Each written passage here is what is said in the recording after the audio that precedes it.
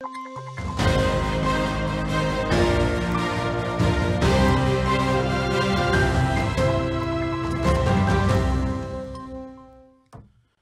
בוקר טוב ישראל, בוקר טוב עם ישראל היקר, תוכנית הבוקר שלנו כאן אה, בערוץ 20, בוקר טוב, עורך דין רן בר יושפט. בוקר נפלא, שמח להיות פה. בטח שאתה שמח, אחרי 3,000, 5,000, 10,000 קילומטר שעשית שם בגזרת אילת. כן. ואני מקנא בתמונות שלך, ב... לא בתמונות, אלא מה שעומד מאחורי התמונות שהעלית לרשת החברתית. אה. רק ככה, ככה, ככה, איזה מילה קצת על המסלול הזה שעשית, מעניין אה, מאוד. איפה אנחנו מבזבזים את הזמן במקום לשמור על כושר ובריאות ו... בסדר, אני מדבר עם עצמי, שלא יתבלבלו שם הצופים, זה ככה...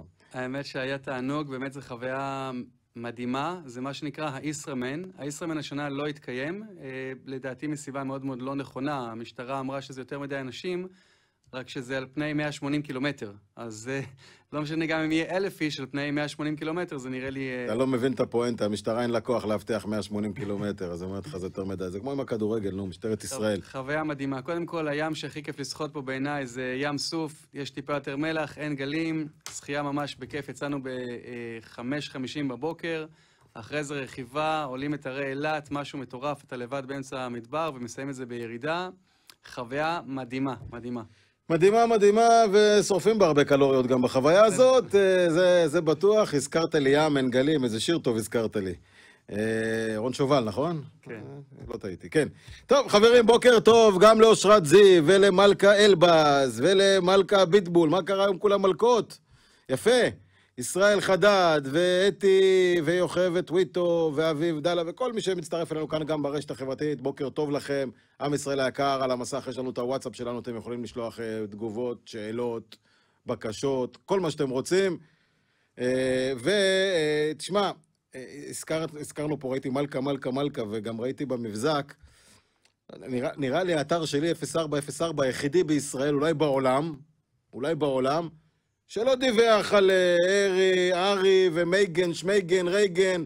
אומר לך את האמת, זה כל כך לא מעניין אותי, מה אכפת לי מה הם רצו לעשות או לא עשו, אה, רצו להתאבד, לא רצו להתאבד, לא יודע, לא מעניין אותי. מה, אני, אני יוצא דופן? זה לא מעניין אותי. אה, האמת שאתה יוצא דופן. אני יכול להגיד לך שכשאני הייתי מעביר הרצאות באנגליה, נפגשתי עם חבר'ה מהקהילה היהודית, שאגב מתפללים תמיד לשלום המלכה, וזה מעניין אותם, אין לי הסבר לזה. אני... זה כנראה קהילה רפורמית. לא, לא, ממש לא. טוב. קהילה אורתודוקסית באנגליה, נהוג שם להתפלל לשלום המלכה. אגב, בכל קהילה יהודית בכל מקום מתפללים אה, יהודים ומזרחים נאמנים בכל מקום שהם נמצאים. הייתי שמח אם יהיה מודל דומה לשאר הקבוצות בישראל.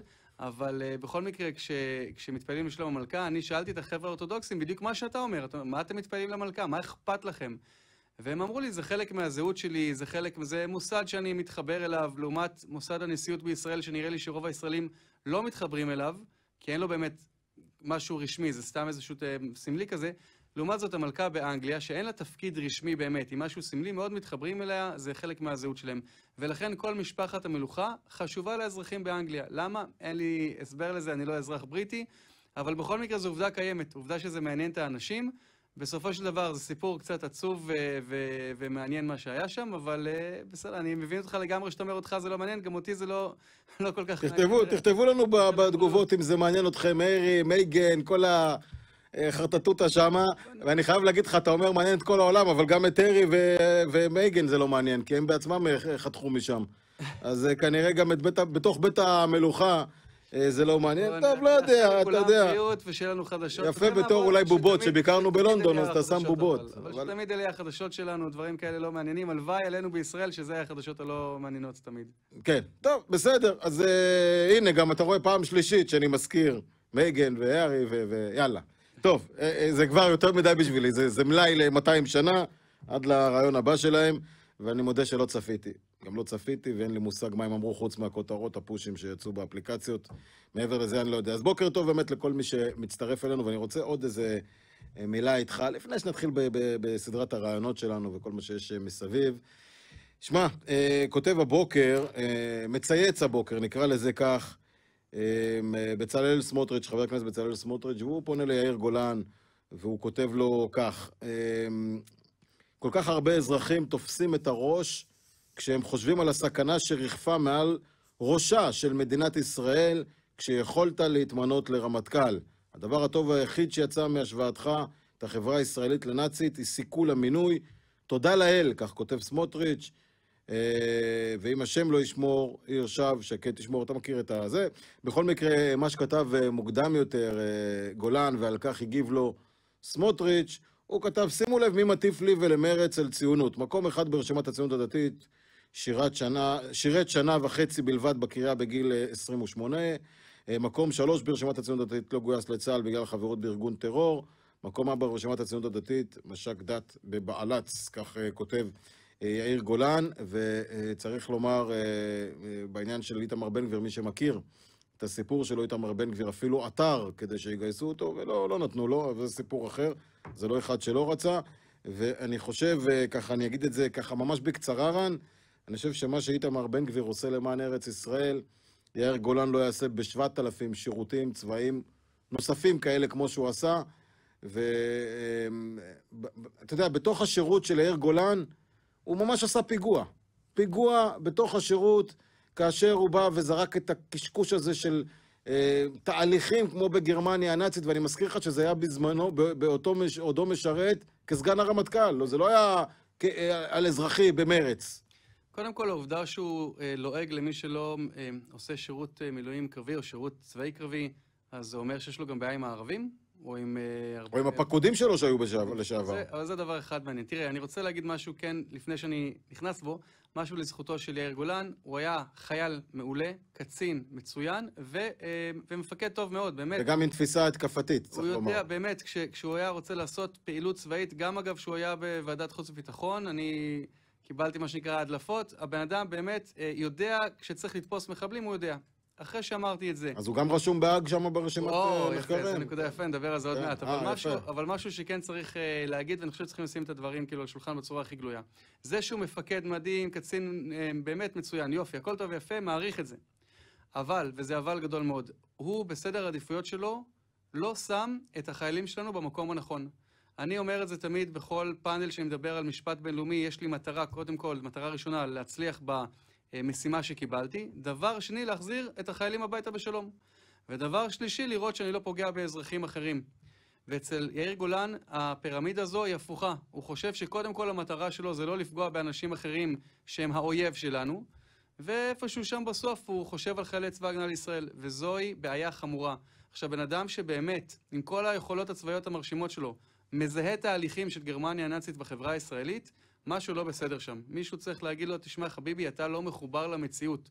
ההשלכות של האמירה הזו, אגב, שמצטטים אותו בכל העולם, אומרים, הנה, אפילו גנרלים ישראלים אומרים כאלה דברים איומים על ישראל. עכשיו, זה מצחיק, הרי סגן הרמטכ"ל, אתה המערכת. אם אתה חושב שיש בעיה, אתה הבעיה. כשבאמת, כמו שאמרת, כשיעמידו אנשים לדין בהאג, אתה בדיוק השם שירצו לשים שם. אז מה, מה קורה פה? מה זה התהליך הזה שאתה מזהה? אתה התהליך?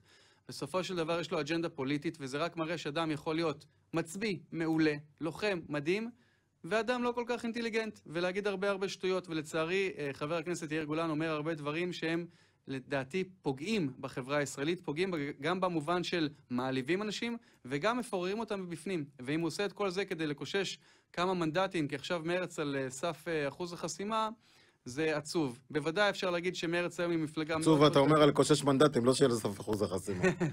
בוא נשים את הדברים במקומם. כן, כן. אבל, אבל בהחלט, אני אומר את זה בצער. מרצ הייתה פעם מפלגה שלא הסכמתי איתה, אבל אפשר היה להגיד שבתוך האוהל הציוני, אה, ג'ומאס לא היה ציוני, היה ציוני, אבל לאט לאט המפלגה הזו סטתה עוד ועוד ועוד ועוד, עד שהיא יצאה מה...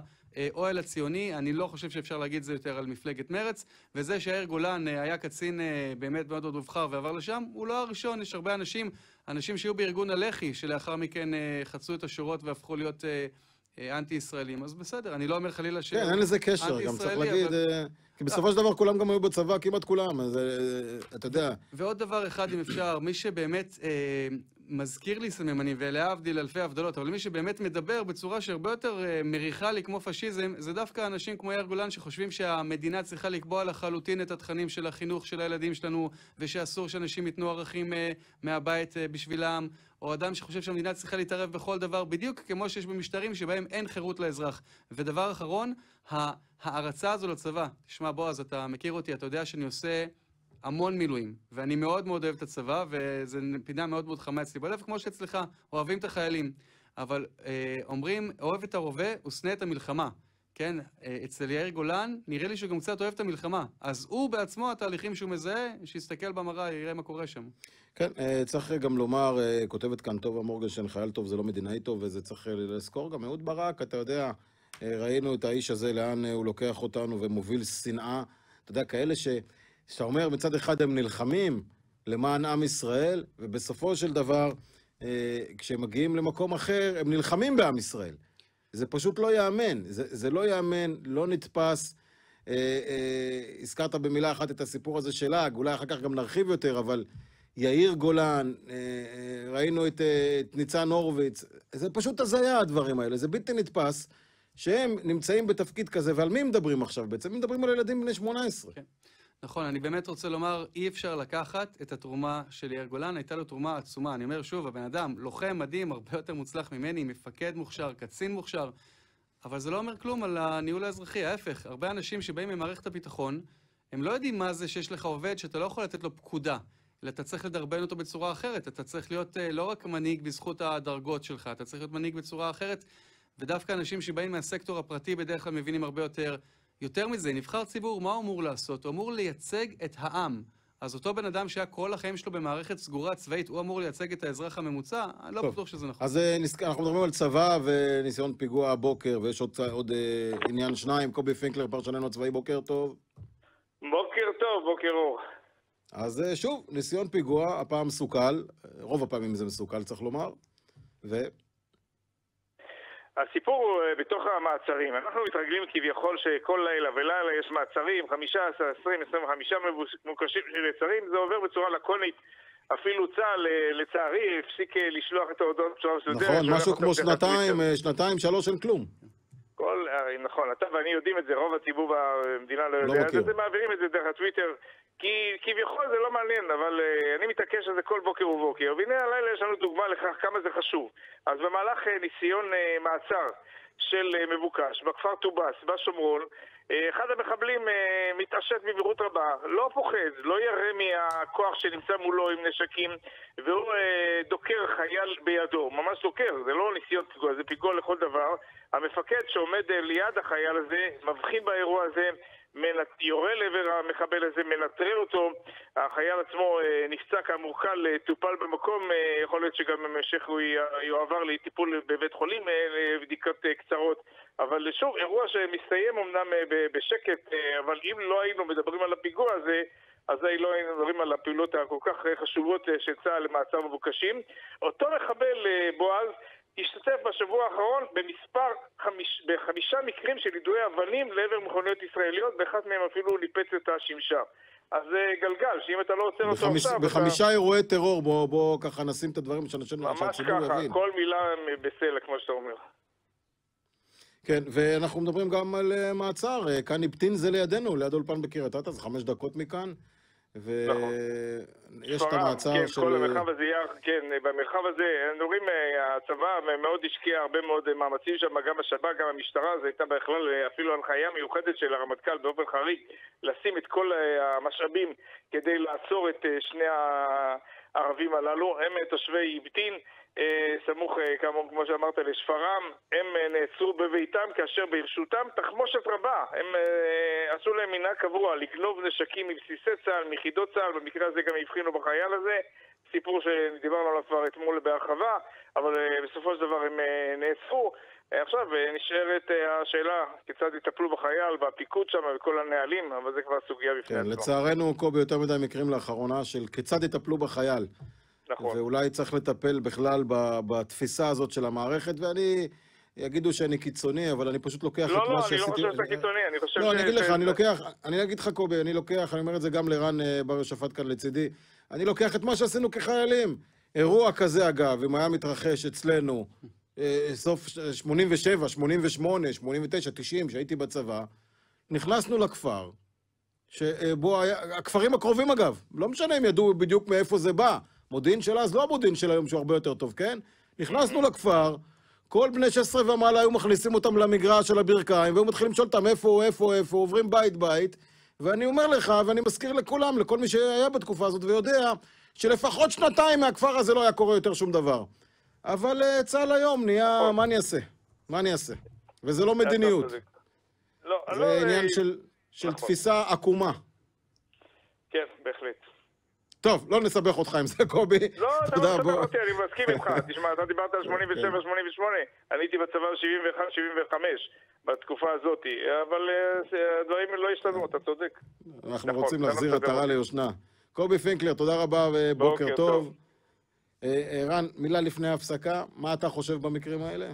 אני ארצה להרחיב על זה אחרי ההפסקה, בסוף... אז אחרי ההפסקה. העניין זה של תודעה שצריכים פשוט לשנות אותה לחלוטין. רשמתי לי, אנחנו נרחיב בעניין הזה אחרי ההפסקה, והרחבתי לעצמי את הלב רגע שנזכרתי איך פעלנו בשנות ה-80, שנות ה-90.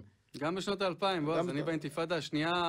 עדיין, אתה אומר, נשארו שאריות. זה לא היה עובד. אה, שאריות, לא ברור שלא היה... מי שבא לקחת נשק צריך לקבל, צריכים לחסל את שני המחבלים האלה, בוא נאמר את זה בצורה הכי אה, ישירה. רן, הם לא היו מעזים, ומי שהיה מעז היה מסכן לתלות דגל אש"ף בעזה. לא, לא. בסדר? אז אנחנו כאילו, לאן הגענו? לא, לא, עזוב, צריך לשים את הדברים. נכון. אנחנו מוותרים פה, ומוותרים פה, ומוותרים על רקטה, ומוותרים על צלפים בגדר, ומוותרים ומוותרים ומוותרים. ובסוף אנחנו נשאר עם עצמנו, בלי כלום. נכון. הלוואי שנשאר עם עצמנו, גם זה לא. טוב, אנחנו יוצאים חברים אה, להפסקה קלה אחריה, אני חושב ממתין לנו עורך דין איתמר בן גביר. הפסקה ואנחנו חוזרים.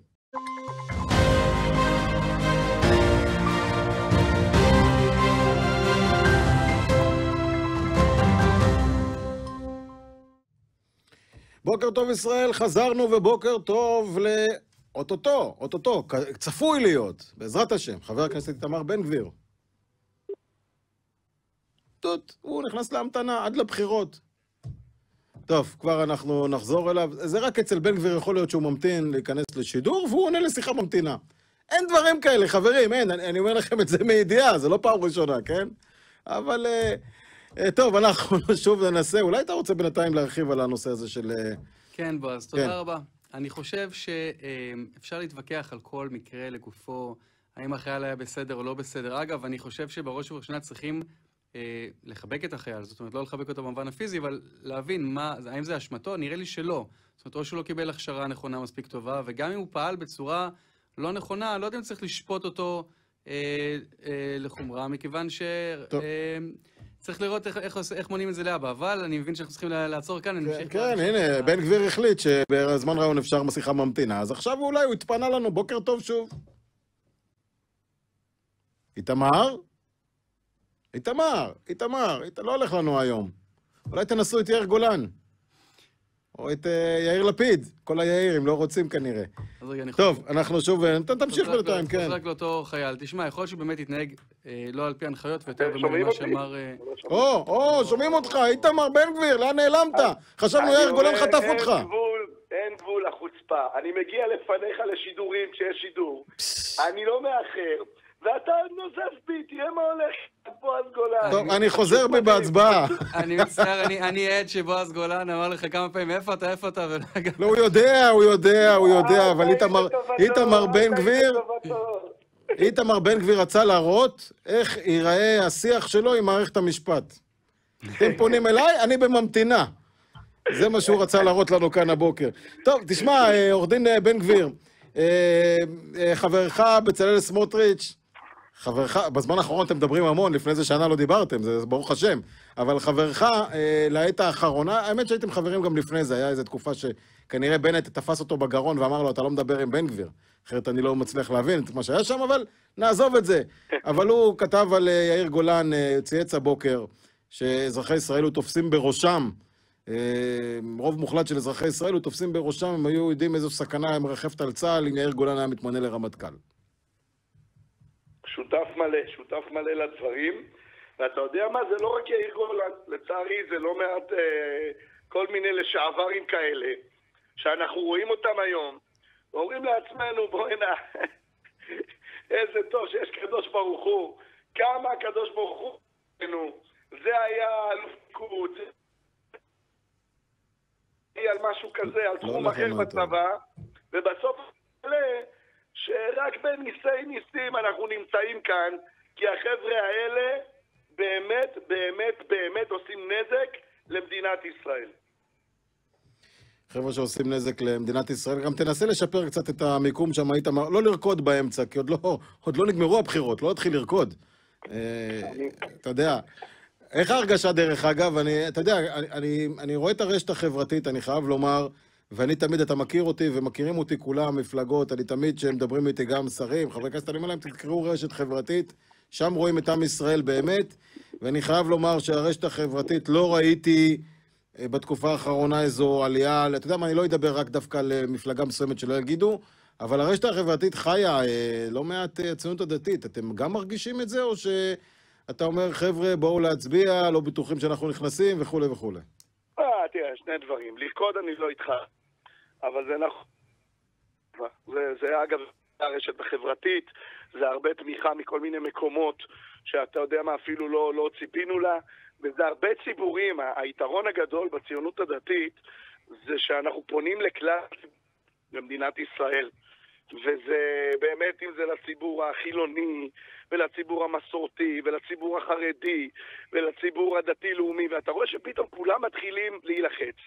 Uh, התחושה טובה, בועז, טובה מאוד, אבל אני כל הזמן אומר לפעילים ולעצמי, אסור לנו להיות זכוכים, אסור לנו להיות שאננים, יש לנו הרבה הרבה הרבה עבודה, ואיך אומרים, אה, את, ה... את, הפירות, את הפירות קוצרים יום, יום למחרת הבחירות, ולא, אתה יודע, שבועיים לפני, זה עוד הרבה הרבה זמן, אבל אם נעבוד בצורה הזאת, אני מתאר לעצמי שזה לא יסתיים כמו שמדברים על אה, אולי חמישה מנדטים, לדעתי הפוטנציאל הוא יותר גדול.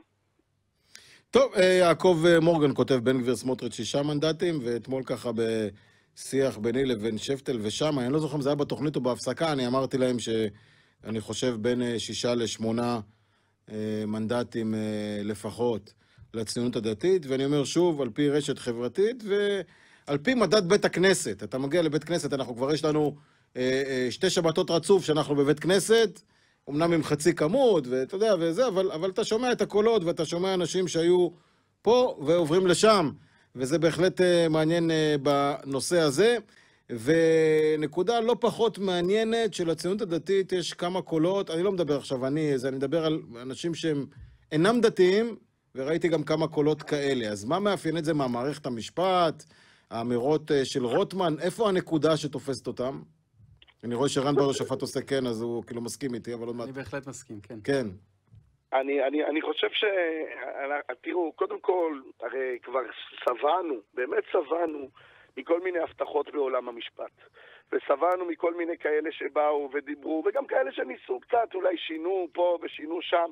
אני חושב שאיך אמנון אברמוביץ' אמר את זה, האם הם יהיו בשלטון, אם הם, יהיה להם כוח במערכת המשפט, באמת מערכת המשפט תשתנה. עכשיו, הוא אמר את זה, אתה יודע, הוא אמר את זה בחלום בלהות, הוא אמר את זה אחוז אה, אה, אה, אמוק, אחוז פחד. אנחנו אומרים את זה בשמחה, אנחנו באמת חושבים שהגיע הזמן לשנות את מערכת המשפט. זה אפשרי, זה ישים. כל הזמן מדברים איתנו על זה שאין, זו מערכת שאין מה לעשות איתה, זה לא נכון. נקודות שאתה משנה אותן, משנה את מוקדי הכוח, ויכול, רוצה מערכת משפט חזק. תתפלאו. בוא, אז אני לא רוצה לחיות במדינה שיש רק כנסת ורק ממשלה ואין מערכת המשפט. אתה יודע מה בעניינים ש, שבן אדם לחו... לפתור אה, סכסוכים, ליישב כל מיני מחלוקות, חייבים מערכת משפט חזקה. אבל אני לא רוצה את מה שיש היום. היום זה מערכת משפט ששוכחת את התפקיד שלה, שהפכה להיות המחוקק, שהפכה להיות הרשות המבצעת, שהפכה להיות הריבון, וזה מסוכן.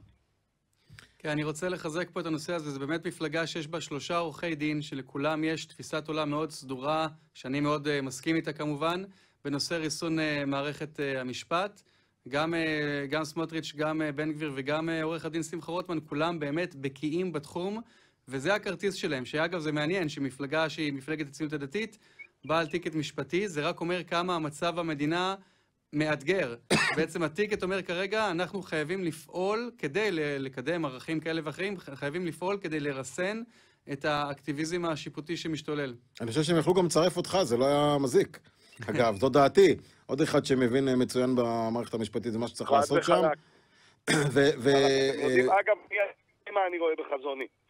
חזוני מה שאני רואה, ואני מקווה שיהיה בסופו של דבר, זה איזשהו פריימריז שיכולים להתמודד בו כולם, באמת כולם. אני לא הייתי מגביל אף אחד, ואני הייתי אה, אה, אה, אה, נותן מכנה משותף כמה שיותר רחב. אתם כבר יודעים את זה מזמן, שמבחינתי, הציונות הדתית זה גם כאלה שגרים בנתיבות ובבית שאן, וגם כאלה שגרים באופקים, וכאלה יותר או מסורתיים פחות. כאלה, כל מי שמזדהה עם הערכים האלה של תורה, עם וארץ, לדעתי, היינו מרוויחים מזה. אם היה פריימריז גדול, שכולם משתתפים בו, כל מי שרוצה להשתתף אה, אה, יכול אה, להתמודד, אני חושב שהיינו מרכיבים רשימה מגוונת מאוד, טובה מאוד, שמייצגת את כל הציבור. לא שהיום אין לנו רשימה טובה, אבל אני חושב שפריימריז רק מוסיף ורק מדרבן את כולם, והלוואי, הלוואי שזה מה שיקרה בפעם הבאה. אני, אני מסכים לחלוטין. אגב, הייתי מאחל לכל המפלגות שיהיה בהן פריימריז.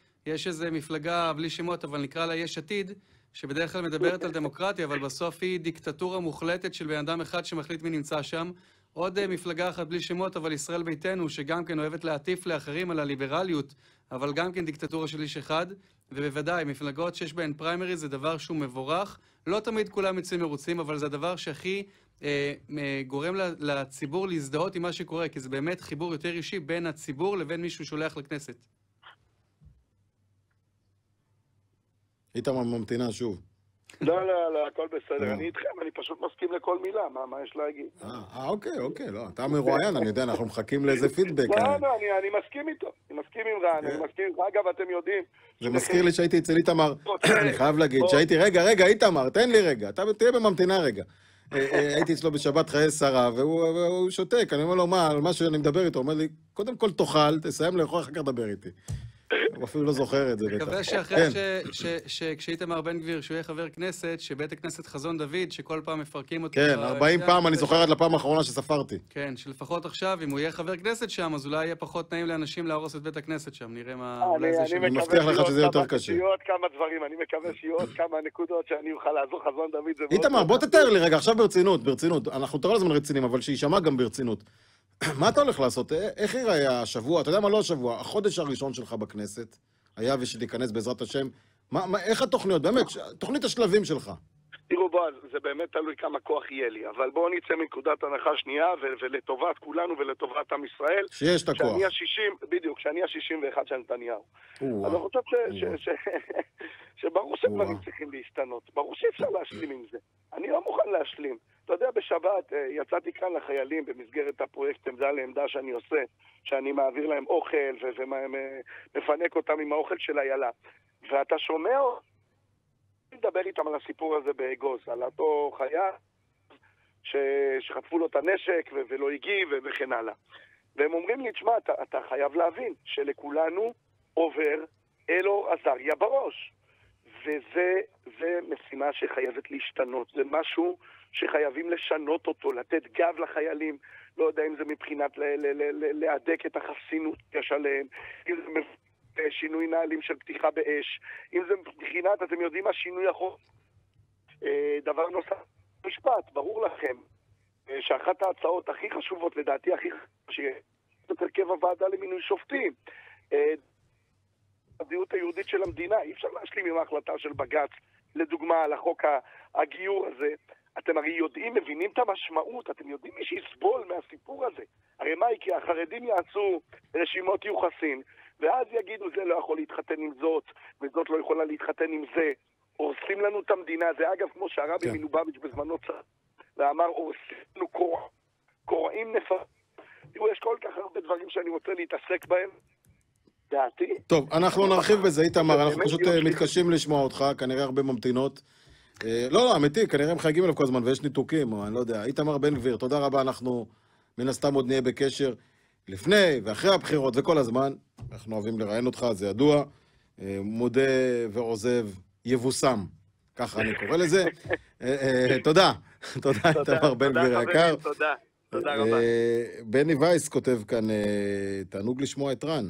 לא יכול להיות שאדם עם תפיסת עולם לא יהודית כמו יאיר גולן ודומיו יהיה מפקד טוב בצה"ל.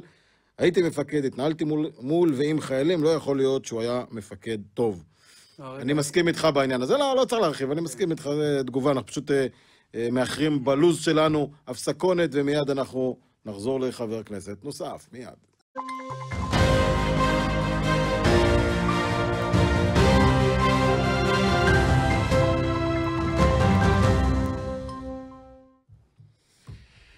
אגוזים, אגוזים, אגוזים. בוא נדבר על אגוז שוב, רן, בוא נשלים את הדברים, כן. אחר כך אני אקטע. אז אני רק רוצה לחדד את זה. החייל עצמו, יכול להיות שהוא היה בסדר, יכול להיות שהיה לא בסדר, זאת אומרת, הוא היה לא בסדר, יכול להיות שהיה לא בסדר בגלל שהוא אה, אה, חשש, ויכול להיות שהיה לא בסדר כי הוא התנהג לא בסדר. בכל מקרה, את החיילים, אני אומר, צריך לחבק.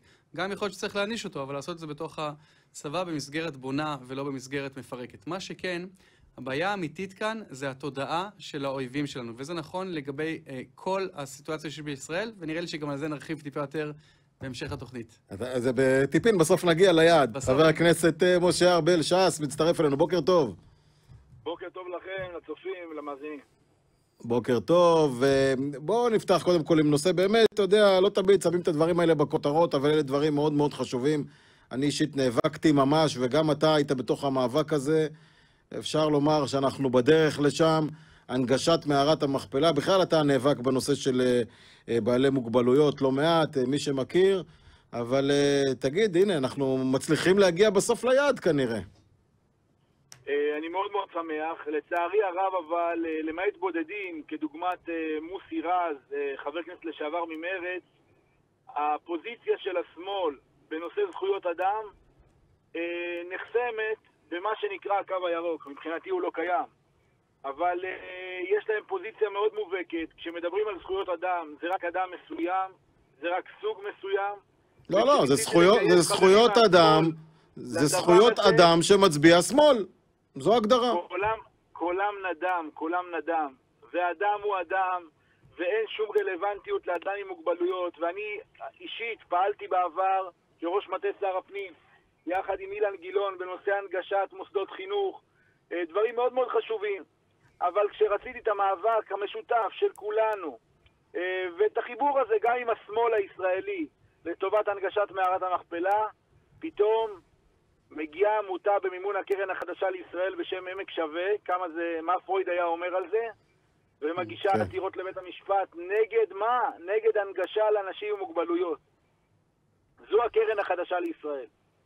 פשוט uh, מדהים, uh, בהחלט ההפך לגמרי משוויון זכויות, לחלוטין, uh, בנושא הזה. ואתה, אגב, רק בשביל שנסכם את העניין הזה של מערת המכפלה, אתה מאמין שזה נגמר, או שזה עוד, uh, עוד יכול מישהו לצוץ ולעצור את המהלך הזה? אני מאוד שמח שמבחינה תקציבית, קודם כל הבטחנו, וגם בדיוני ועדת החוץ והביטחון, וגם בדיוני ועדת הכנסת, הבטחנו, שרי הממשלה כבר הקצו את התקציב לטובת הדבר הזה. הכסף הזה כבר הוקצה, הוא מונח, הוא אושר על ידי החשב הכללי. השר לשירותי דת יעקב אביטן שם כסף לטובת הליכי התכנון והביצוע, אה, ולכן אה, ברגע שיש תקציב וברגע שאין מניעה משפטית, אה, צריך לעשות הכל כדי שזה יקרה כמה שיותר מהר, להציב עובדות בשטח. רגע, רגע, אבל אני רוצה רגע להקשות עליך פה. הבעיה היא לא באמת הייתה התקציב, כי תרומות פרטיות היו יכולים לבנות את זה לפני עשרות שנים. הבעיה בעיקר זה שמערכת המשפט לא אפשרה לבנות את זה, כי זה כאילו יהודים בונים ביהודה ושומרון, בעיקר באזור מערת המכפלה, וזה אסור. זה היה איזשהו שינוי של הסטטוס קוו. והשאלה שלי זה האם זה יתאפשר, כי יש עוד דברים שצריך לעשות במערת המכפלה. כמובן, בעיניי, בראש ובראשונה, הנושא של הנגשת אנשים עם צרכים מיוחדים, אבל מה לגבי אה, אה, תקרה? תקרה מזכוכית שכבר קיימת ומוכנה ורק צריך להניח אותה. אה, אני אומר, סוגיית ההתנהלות במערת המכפלה, לצערי הרב, מ-67, היא סוגיה מאוד uh, מורכבת, כי פשוט השאירו עדיין לוואקף סוג של בעלות מסוימת על האתר, ובעצם הסמכות העליונה, במקרה הזה גם של הריבון, שזה צה"ל, אלוף הפיקוד, הייתה להפקיע את אותן זכויות מהוואקף ולקבוע את סוגיית ההנגשה. אה, היו על זה עתירות, גם על התהליך עצמו. אני שמח שבית המשפט קבע, עדיין, דרך אגב, עומדת להם זכות ערעור לבית המשפט העליון, כי זו החלטה של המחוזי, אבל בית המשפט קבע שההליך בוצע לפי הדין, אה, וההליך הזה אה, התנהל כמו שצריך, הליך ההפקעה בעצם. והסוגיה הזו היא סוגיה משמעותית, קודם כל שמקבעת עובדות בשטח, גם בסוגיית הבעלות. אנחנו צריכים להכיר טובה גדולה לשר המנוח אה, רחבעם זאבי, השם ייקום דמו, אה, שכשהיה שם אלוף פיקוד, ביצע עובדות בשטח, מה שהמפקדים שממונים עליו חששו מאוד מלבצע, וקבע עובדות יחד גם עם הרב הראשי לצה"ל, הרב גורן, ובזכותם, בזכות המ... באמת החזון שלהם, זכינו לשוב למערת המכפלה ולהתפלל בה אה, באופן מלא. לצערי הרב, אה, הדבר הזה לא היה מובן לכל, לכל המנהיגים באותה תקופה. אה, וכך היא גאולתם של ישראל, קמעה קמעה, הדברים האלה הולכים קצת קשה, הולכים לאט, אבל עם הנצח לא מפחד מדרך ארוכה. עם הנצח לא מפחד מדרך ארוכה, ויש עוד נושא מאוד מאוד חשוב שאתה נאבק עליו, הוא בקושי מקבל את הכותרות, צריך לומר, כי זה לא נושאים, אתה יודע, של סדר היום, וכל הנושא הזה של מגבלת ביקורי הורים אה, במוסדות אה, פסיכיאטריים לנוער, גם כן בגלל הקורונה. איפה אנחנו עומדים עם הנושא הזה? אני קיבלתי פניות רבות, פניות ציבור מהורים, שתקופת הקורונה הפגישה אותם בפעם הראשונה בכלל עם סוגיית בריאות הנפש לבני המשפחה הקרובים שלהם. זה אירוע טראומטי כשלעצמו. אה, והתווסף עליו גם אה, העובדה שבשל הקורונה לא אפשרו ביקורי משפחות, אה, רק מאחורי גדר. תבין את המשמעות, אם בן אדם, הבן שלו מאושפז כי שבר רגל, הוא יושב לידו בבית החולים, בבית חולים לחולי נפש, לא אפשרו בכלל את המגע הזה, את החיבוק, את הקרבה, את השיחה. ושם צריך את זה הרבה יותר. ואני שמח מאוד שהבוקר גם התבשרתי על ידי אה, אה, דוקטור אה, זלצמן, שהוא יושב ראש איגוד הפסיכיאטרים, שבעקבות הפנייה הזו, ממש הבוקר, לפני חצי שעה, הוא עדכן אותי שיצאה הנחיה להפעיל גם כן את התו הירוק בבתי החולים לבריאות הנפש. זה לא פחות חשוב מקניונים וממופעי תרבות. אם בני המשפחה קרוב כן. לליבם, נמצא בבית החולים, רוצים להגיע אליו, ואם שניהם מחוסנים ושניהם מחלימים, בוודאי ובוודאי שאין כאן סכנה של התפרצות קורונה. זה חשוב, זה קריטי, זה נושא שלא אוהבים לדבר עליו, אה, לצערי הרב, אבל אה, חשוב מאוד לדבר, לשים אותו על השולחן, אה, זה מציל חיים. אני רוצה אה, בפרק פוליטי קצר באמת אה, לסיים איתך ולשאול אותך, ש"ס היא מפלגה יחידה שבחירות אחר בחירות, אם אני לא טועה פעם רביעית ברציפות, שאומרת רק ביבי, אנחנו יושבים עם ראש הממשלה בנימין נתניהו, זה חלק מהמרכזי בקמפיין שלנו, שהמצביעים שלנו ידעו, אנחנו יושבים עם נתניהו. הפעם הראשונה יש לנו גם עכשיו את אה, סמוטריץ' בן גביר, הציונות הדתית, שאומרת אותו דבר, חוץ מזה אף אחד אחר לא אומר. יהדות התורה, יש שם קצת זיגזוגים. מה אתה חושב יהיה בסופו של דבר, ולמה זה רק אתם? אני אה, חושב שאם נסתכל ימינה ושמאלה, אה, אני לא אוהב את המונח הזה, כי הוא קצת קלישאתי, אבל באמת המבוגר האחראי, היחיד שישב בעצם בקבינט אה, עוד בימי שמיר, אה, זה השר דרעי.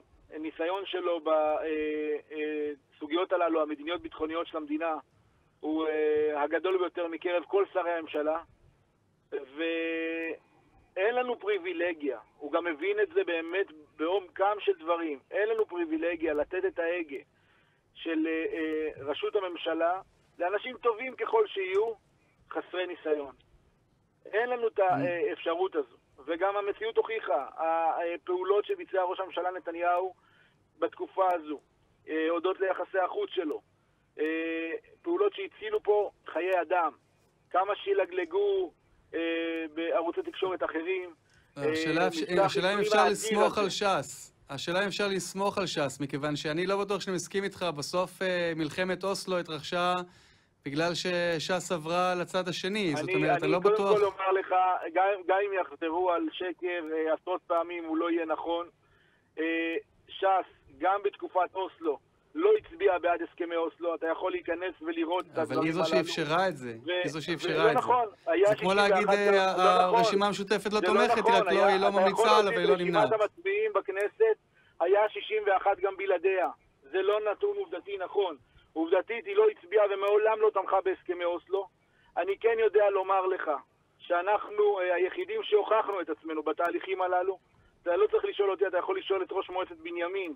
מי השר שדפק על השולחן כשאני הייתי ראש המטה שלו וראה את המצוקה של עקורי עמונה ואמר אני שר הפנים ולא שר השיכון אבל אני לוקח אחריות ומשרד הפנים יקים את היישוב עמיחי והיועץ המשפטי השתולל והודיע השר זו החלטה מיניסטריאלית אתה תבצע אותה ותסתובב ביישוב עמיחי ותראה מי עשה למען המתיישבים ביהודה ושומרון הללו. אני מקווה שאתה צודק. תשאל את יוסי דגן, אל תשאל אותי, אני נוגע בדבר, אני לא אובייקטיבי.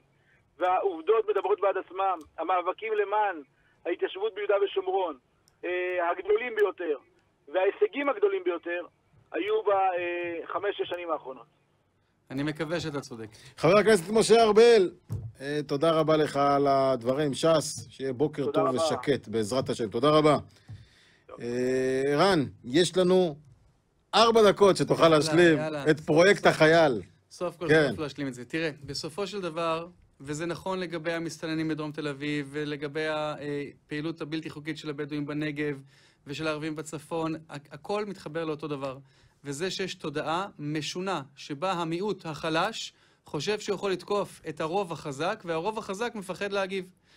עכשיו, זה משהו שצריך להשתנות. ברגע שהוא ישתנה כל כך פחות, הרבה פחות, אירועי טרור. חייל שמרגיש שמשהו מסכן אותו, צריך לדעת שהוא יכול לירות ולהציל את החיים שלו, והוא לא צריך לחשוש עכשיו מה יקרה. אני, אני אומר, יכול להיות שבאמת החייל הזה כן קיבל הוראות, עדיין אני לא יודע כי אין תחקיר אה, מסודר, אבל יכול להיות שההוראות היו כן לבצע אה, אה, ירי, והוא החליט שלא, ויכול להיות שלא. אבל אני לא יכול לדעת, כי כרגע בצבא אני שומע שיש שני קולות. כל אחד אומר, הוא פעל כהלכה, וזה מה שהוא היה צריך לעשות, וקול אחר של מפקד יחידת אגוז אומר, זה ממש לא בסדר. איך אתה, איך אתה צודק, אתה יודע, סלח לי שאני קוטע אותך, אבל, אבל אני, אני מרגיש בתקופה האחרונה בכלל, בצבא, מזה תקופה, זה כבר ארוכה, אבל במיוחד עם האירועים האחרונים, שהצבא מבולבל. בדיוק. הוא לא יודע מה לעשות. בדיוק, וזו הנקודה. זאת אומרת, אני אומר, קודם כל, את החיילים אני אוהב. גם כשחייל טועה, לכל כיוון, ליותר מדי כוח ופחות מדי כוח, צריך לחבק אותו, גם אם הוא חייל שממש פישל, רגע, בוא נבין למה זה קרה. הוא בסך הכל, הוא לא אמר מה בא לי לעשות, בא לי עכשיו ללכת לניווט בדד, תאמין לי, עשיתי הרבה נכון, צריך לזכור שאם הוא היה רוצה, הוא לא, יכול, לא היה צריך לשרת ביחידה הזאת. זה אנשים שבאים מרצון. צריך להבין שהוא קיבל הכשרה שהייתה שם איזושהי בעיה. הוא בסוף, אה, ילד שהתגייס, הוא כבר לא ילד, אבל הוא היה ילד, הגיע לצבא, נהיה גבר מהר, אחרי כמה לילות ללא אימא. צריך להבין את הסיטואציה שלו, צריך לראות מה קורה במערכת. ואם הצבא בעצמו, מצד אחד אומר מפקד יחידת אגוז, אני אוהב את האמירה המצ'ואיסטית הזו, אה, אה, לוחם אגוז שלא יכול אה, לנצח אנשים, הכל טוב ויפה. אני במקרה קצת מכיר עולם של אמנויות לחימה ו-MMA, זה מאוד מאוד קשה ללכת... אולי יותר טוב אפילו ממנו, אני צריך לומר. כן, כן, קצת קשה ללכת מכות מול שני אנשים שאתה לא יודע אם הם באים לרצוח אותך או לא, זה מאתגר. זה אמירה אחת. אמירה שנייה... תסלח לי שאני קוטע אותך כאן, יש לנו עוד זמן, יש לנו זמן, אנחנו לא, לא נסיים את הזה. אני רק חייב לומר למי שצופה בנו ושומע אותנו, שאתה לא מדבר מפוזיציה של אחד שלא מכיר את זה. אתה מתעסק בתחום הזה של אה, לחימה, נכון? אומנות הלחימה, נקרא לזה ככה, מול מחבלים, ואתה מכיר היטב, אתה חוטף לא מעט מכות אה, בימי מילואים. נכון, האמת שאני דווקא, כן. הוא רק נראה לכם כזה, הוא לא, הוא סוס. אה, אה, כן. נכון, לכן אני אומר, מצד אחד, האמירה הזו של כן, אה, לוחם באגוז, צריך לפרק שני אנשים. בוא, לאט-לאט, לא כל אחד נולד באותם ממדים, לא כל אחד גם טוב בלחימה. וזה בסדר, לוחם צריך להיות לוחם שיודע לעשות הסוואה, ניווטים, תצפיות, לא כל לוחם צריך להיות מומחה אלוף הארץ בלחימה משולבת MMA. מהצד השני, כשהצבא אומר, הוא פעל בסדר גמור, מה החייל אמור להבין? מה יקרה בפעם הבאה?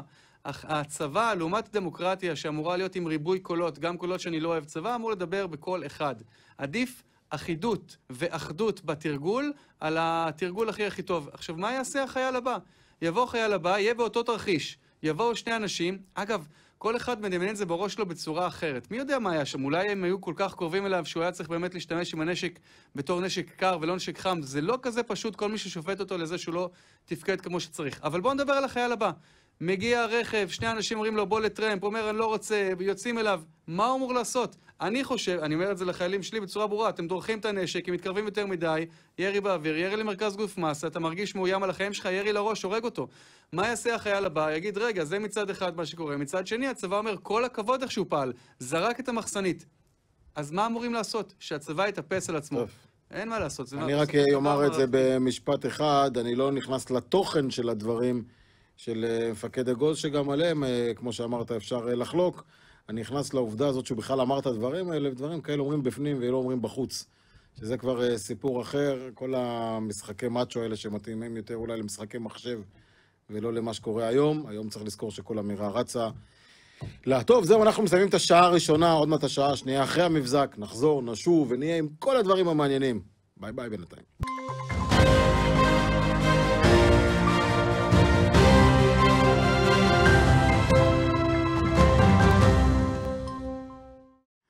בוקר טוב ישראל, שעה שנייה שלנו כאן, אה, תוכנית הבוקר של ערוץ 20 באולפנינו בקריית אתא, שוב בוקר טוב, רן בר יושפט. בוקר נפלא. אז אחרי שעה ראשונה, אנחנו עכשיו עם השעה השנייה שלנו, ויש מי שטוענת שהכסף, מה, נמצא ביו"ש? כן. ביהודה ושומרון? אז תראה, המצב... היא טוענת עוד שטויות, אבל גם את זה, כן.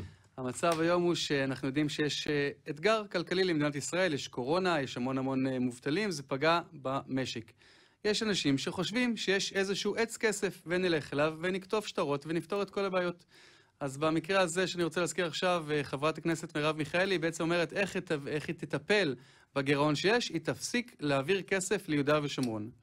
עכשיו, חוץ מהעובדה שיש כאן איזושהי בעיה עצומה של זכויות אדם, בעצם היא אומרת שיהודי שנמצא מעבר לקו הירוק הוא לא זכאי לאותם תנאים של יהודי שבתוך הקו הירוק.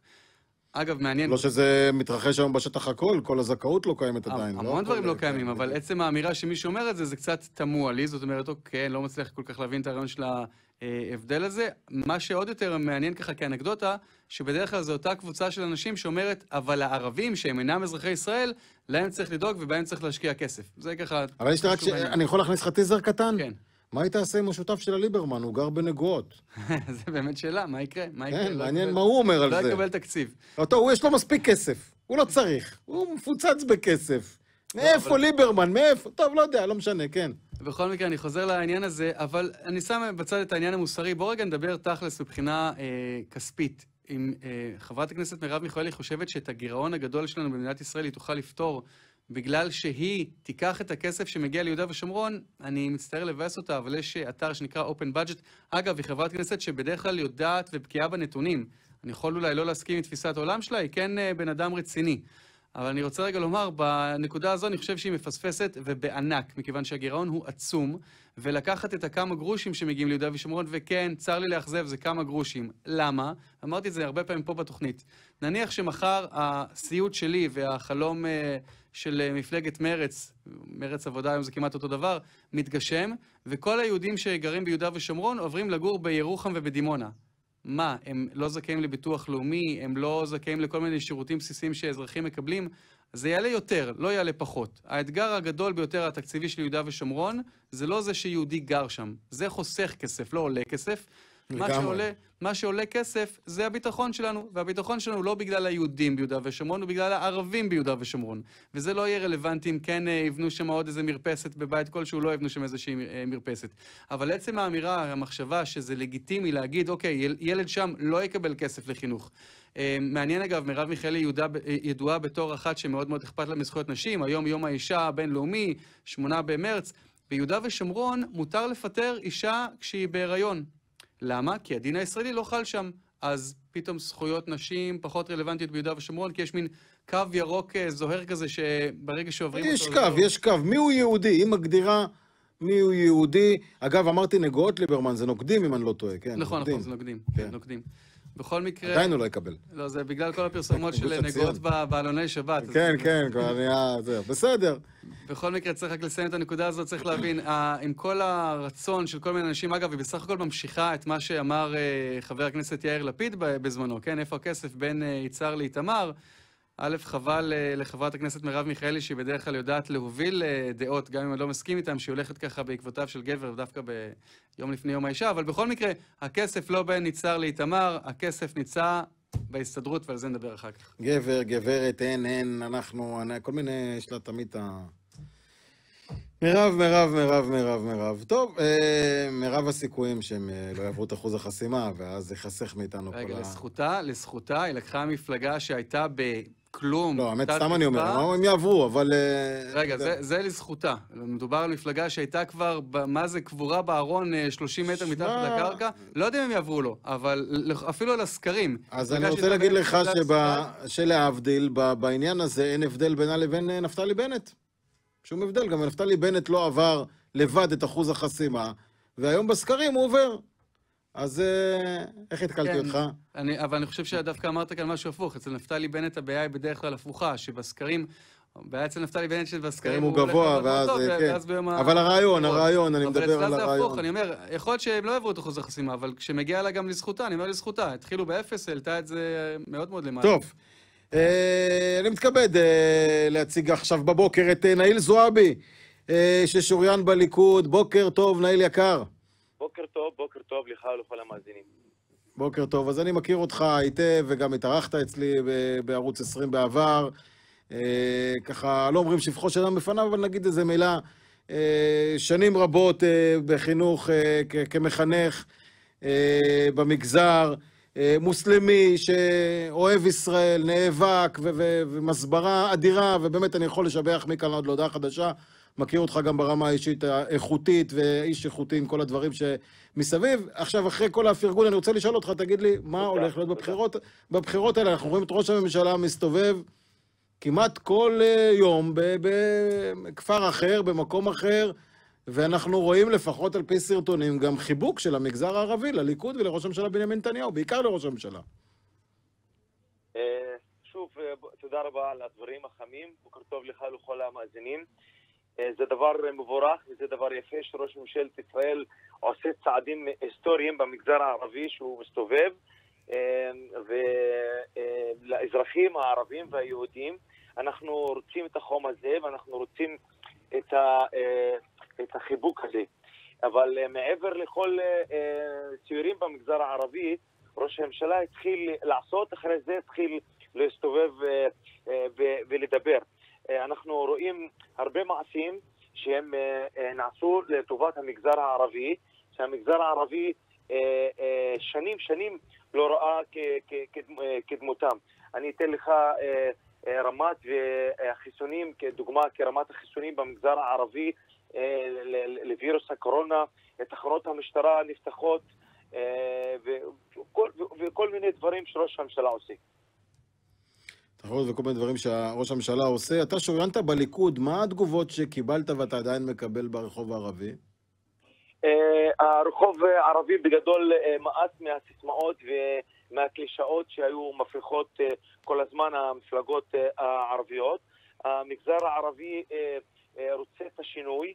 אה, אני בפחות מחודש הייתי ב-53 חוגי אה, בית במגזר הערבי, שהם רוצים אותנו בתוכם. שם אני מעביר את המסר שהמגזר הערבי צריך ממשלה שרק כשיש בכוחה למנף, לחזק את המגזר הערבי ולהביא אותו ממקום למקום אחר. והיום אנחנו אה, רואים, איך שאמרתי, אה, את, את, את ראש אה, הממשלה משקיע השקעה אדירה בדברים שהמגזר הערבי צריך אותם. כדוגמת, מה צריך? אחד, כל בן אדם, גם כן, לא רק המגזר הערבי, צריך את הרוגע, צריך את הביטחון האישי.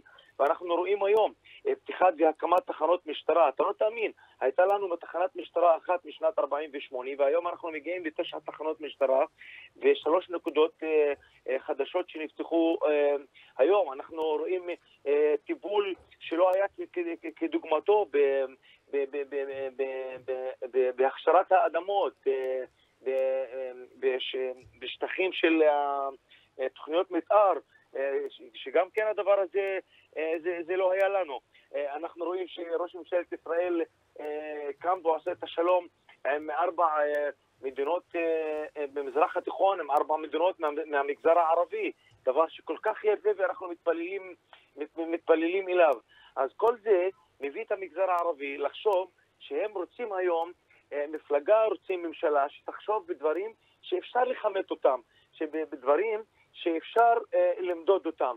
כי כל מה שלא נמדד זה לא קיים. והמפלגות הערביות כל הזמן דיברו בדיבור שאי אפשר לכמת ולמדוד אותו. אז אני רוצה קודם כל לברך את אה, נאיל זועבי ולאחל לו שייכנס אה, לכנסת. הייתי רוצה גם לראות הרבה יותר אה, אנשים אה, כמוהו שמשתלבים, ערבים שמשתלבים בחברה הישראלית. אני חושב שהפער הכי גדול בין הרשימה המשותפת לבין אנשים כמו נאיל זועבי זה בדיוק השאלה האם הם באים לסייע לערבים שהם אזרחי ישראל ושמחים לקחת חלק במדינה, לבין ערבים שהם אינם אזרחי ישראל או לא רוצים להיות אזרחי ישראל, כמו מה שקורה היום. היום הרשימה המשותפת, לדעתי, לא מייצגת בכלל את הערבים שחיים בישראל, אלא הם מעוניינים לייצג ערבים שחיים בעזה, ש- שהם אה, לא נמצאים כאן. יש אגב תופעה מאוד מעניינת בעיניי, אני אשמח לשמוע מה אתה חושב, אה, מר זועבי, האם הערבים הישראלים שבאמת רוצים לקחת חלק בבניין של המדינה הזו, האם הם מוצאים את עצמם דווקא עם שותפות יותר טובה עם מפלגות הימין? מכיוון שנראה לי שבזמן שמפלגות השמאל אוהבות להסתכל על האזרח הערבי בתור איזה טוקן, בתור איזה ציור, קישוט למפלגה, נראה שדווקא במפלגות הימין מדובר על שותפות אמיתית, כל עוד יש עניין ומוכנות לבנות מדינה ביחד. אהלן וסהלן, מוזמנים להצטרף, מפלגת שלטון, מפלגת ליכוד, אפשר לטפל ככה בבעיות של תקציבים, בבעיות של חינוך, בבעיות של ביטחון, בואו נעשה את זה ביחד. מה אתה חושב? אני חושב שהדבר הזה אה, מאוד לא, היה לא נכון, זה סטריאוטיפ אה, מופרך, וזה אה, דבר שכל הזמן אה, הפחידו את המגזר הערבי, הימין, הימין, הימין. ואם נסתכל היום למבחן התוצאה, על עובדות, דברים שקרו בשטח. מי שעשה את השלום, בין, בין, בין השלום הראשון עם מצרים, זה מפלגת ימין. זה היה בגין המנוח והליכוד אה, אה, עם מצרים.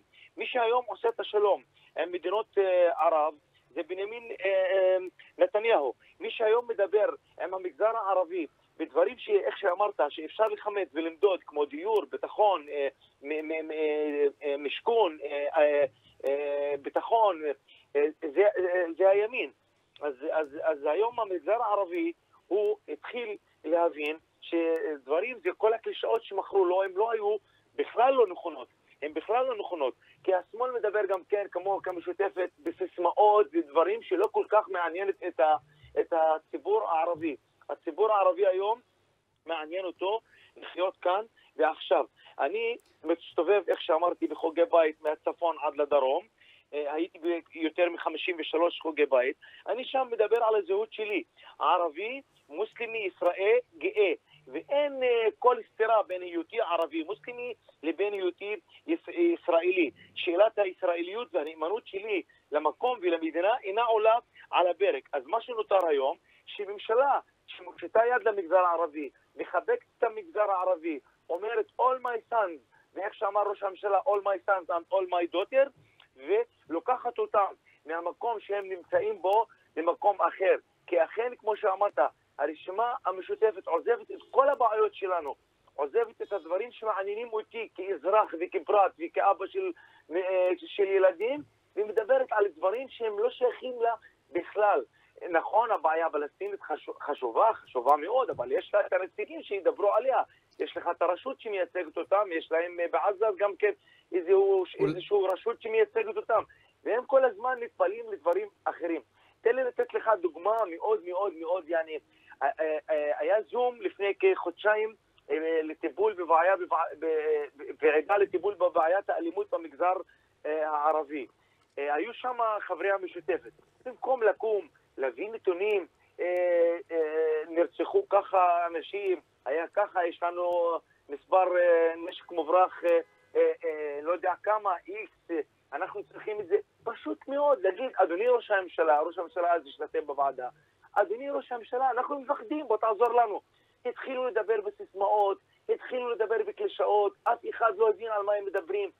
ניסו ולקחו את הדיון למקום אחר, אז מספיק, אז מספיק בוא תן לנו משהו, משהו אופטימי, משהו אופטימי. האם יש מגמה, אתה חושב האם שישנה מגמה של אה, ערבים ישראלים שהולכים בבחירות הקרובות להצביע למפלגות ימין? יש מגמה ברורה היום להצביע למפלגת השלטון, לליכוד. יש מגמה ברורה וחיבוק אה, לראש ממשלת ישראל מצד ערבי ישראל. היום ערבי ישראל יודעים שמי שדיבר אליהם בדברים שאפשר למדוד, זה ראש ממשלת ישראל, אה, מר אה, בנימין נתניהו. תסתכל על טיפול ועדת הקורונה. ועדת הקורונה בישראל לא הבדילה בין ערבי לבין יהודי. הערבים במדינת ישראל יוצאים מהקורונה לפני כל אומות העולם. זה דברים שאפשר למדוד. אה, אגב, אני, אני חייב רגע להעיר פה, אני חייב להעיר פה, סליחה, זה משהו שזהבה גלאון אגב אמרה אחרת, תודה רבה שאתה אומר את זה, צריכים לקחת את הקטע הזה ולחתוך ולהראות לכל העולם, כי זהבה גלאון אמרה שבישראל אנחנו עושים אה, איזושהי אה, אפליה בין יהודים לערבים, תודה רבה על הנקודה הזו שאתה אמרת. אני חושב שהדיבור כמו זה שעושה את האפליה בין ערבים ויהודים ומגדיל את השסע, כאשר אומרים שערבי ישראל לא מתחתנים, ערבי ישראל במדינת ישראל יוצאים ראשונים מהקורונה. יוצאים ראשונים בקורונה כי הטיפול בקורונה לא הבדיל במדינת ישראל לא בין ערבי לבין יהודי. כל מי שמדבר אה, דברים אחרים, הוא שופך את התינוק אה, עם המים. מספיק, מספיק עם הדברים שמשסעים ומבדילים ומרחיקים את ערבי ישראל מיהוד... מה... מה... מהיהודים, מהשכנים שלהם והמדינה. חבל, חבל באמת אה, על דברים כאלה, אה, שכל הזמן משתמשים בערבי ישראל. אז הנה, אתה רואה עוד דוגמה. השמאל משתמש בנקודה הכי קריטית והכי, והכי קשה, משתמש בערבי ישראל לרווחים פוליטיים כאן או, או שם. וזה, וזה לדעתי זה דבר, זה, זה, דבר הזוי. דבר הזוי בהחלט. נאיל זועבי, שוריין בליכוד, בתקווה שתיכנס, חשוב הקול שלך. תודה רבה לך, בהמשך פעילות ענפה, כמו שאתה ממשיך ועושה כל הזמן. תודה רבה לך. תודה רבה לך, שיהיה לך יום טוב. תודה, תודה. אנחנו יוצאים להפסקונת קצרה, מיד ממשיכים.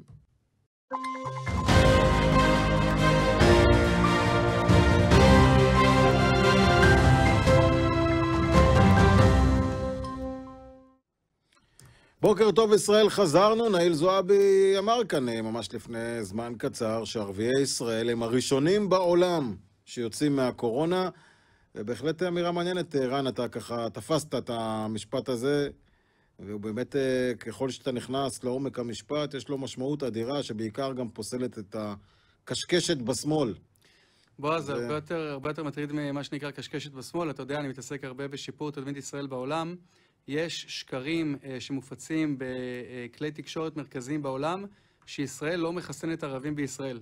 זה ממש דברים שאתה שומע בערוצי תקשורת מובילים בעולם, וזה בין היתר בגלל חלק מהאנשים שהם מוכרים בישראל שאמרו את זה, וגם בגלל uh, כל מיני כתבות fake uh, news, ערבים שהם אינם אזרחים ישראל, uh, uh, ערבים שהם אינם אזרחי ישראל באו לתוך ישראל במטרה להתחסן, אמרו להם, אתם לא אזרחים, אתם לא רשומים, אי אפשר לחסן אתכם, ואז אמרו שישראל לא מחסנת ערבים. זה חשוב מאוד להדגיש, ישראל מדינה שמתייחסת לכל האזרחים שלה בצורה שווה, הייתי אומר אפילו יותר מרוב המדינות שאני אה, מכיר המערביות בעולם. וזו נקודה שהיא קריטית, ממש מתקיפים אותנו על זה כרגע העולם. גם צריך לומר שאני גם ממש מאמין שהערבים אה, הגיעו משם לפה. אלא זה עשו את זה בשביל הכותרת, כי אי אפשר היה להגיע, כזה שמיים סגורים. ברור, זה רק בשביל הכותרת. כן, בדיוק, אז כל זה, כל זה פייק מההתחלה ועד הסוף. הלל ביטון רוזן, בוקר טוב. כן.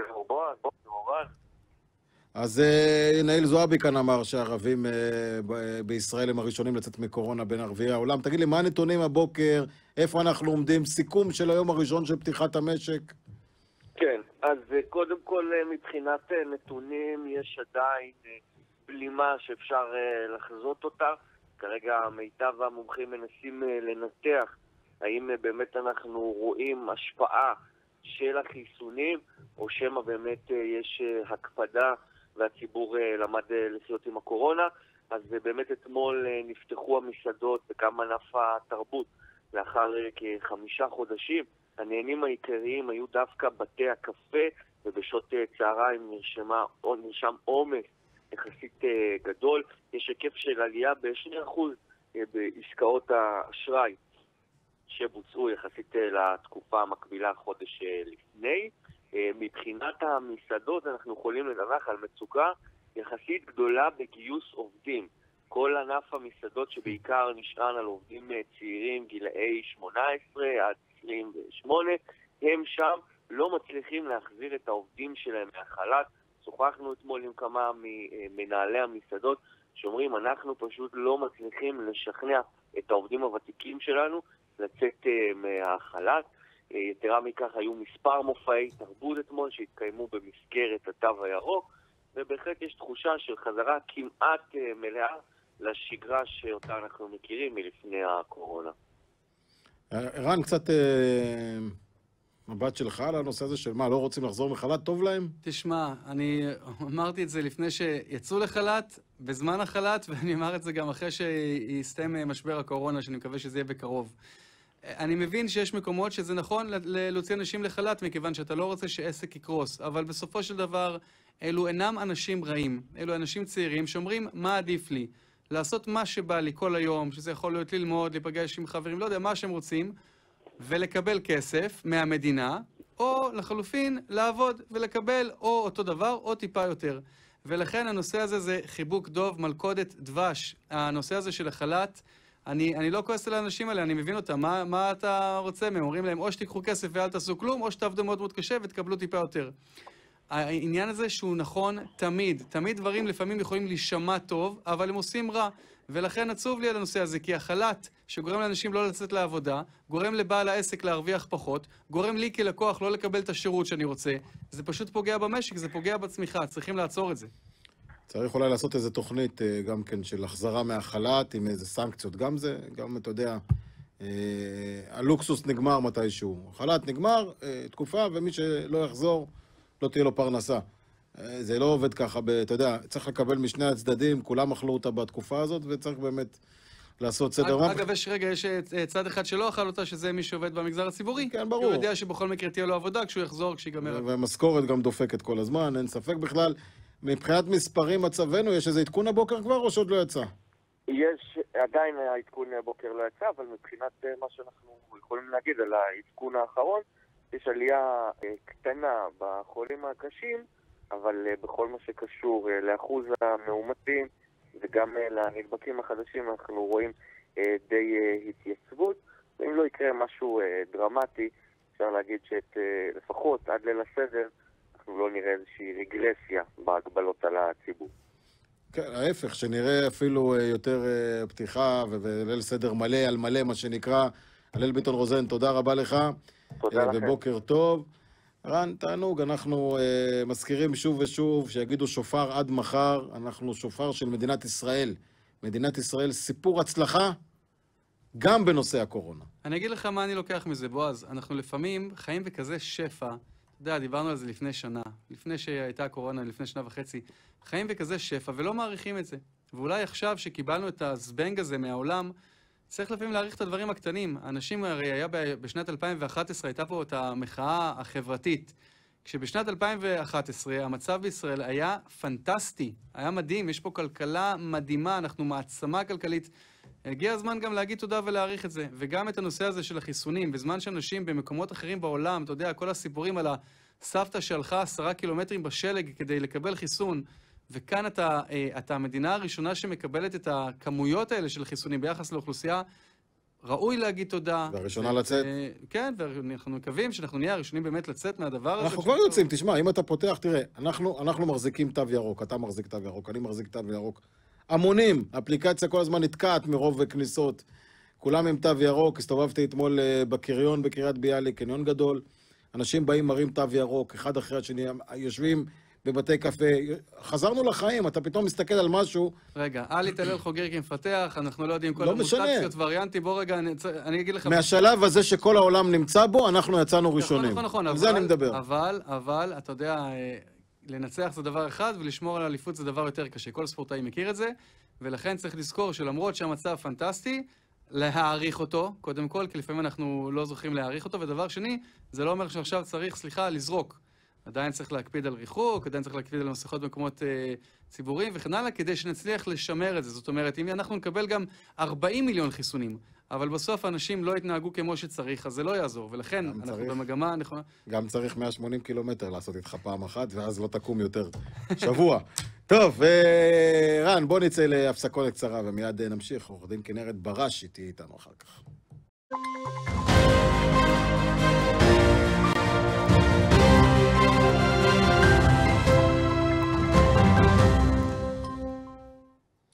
בוקר טוב ישראל, חזרנו, ותמיד כשכנרת בראש איתנו אנחנו מתחילים מערכת המשפט, בלאגן.